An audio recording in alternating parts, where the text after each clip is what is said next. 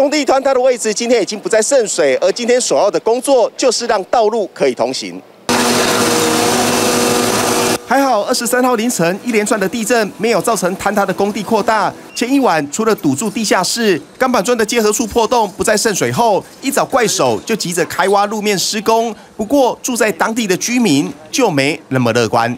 惊讲若放落来啊，安看变怎？惊惊困啦，还拢会想啊。阮两个囝拢卡到，阮就去因走看较紧。紧邻工地的住户不愿离开家园，一整晚提心吊胆。另外，对面店家前一天意外发生时还曾开门营业，但由于道路封闭，苦等不到客人。正对面的早餐店干脆关门休息，而有人不愿休息，则是地下室仍在渗水，得定时清除。我们都要处理啊，麻烦。对啊，每天都要跑五六趟。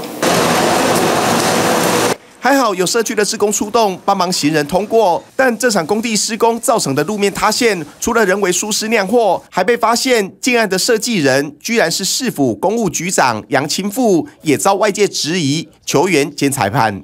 杨局长上任前就已经辞掉相关的工作，而且昨天第一时间我们公务局就对责任追究，处以九万元的一个罚款。哦，我还是要再三强调啊，对于公共安全，尤其是公安。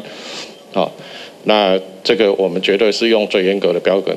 虽然最快二十三号晚上就能开放一半的道路通行，但就怕这几天仍有余震出现。市府除了救蛇外，附近居民更希望尽早将塌陷复原，防止意外持续扩大。TVBS 新闻南部综合报道。想扩大国际视野，掌握趋势，请订阅专门报道国际新闻的 YouTube 频道 TVBS 国际 Plus，记得要开启小铃铛哦。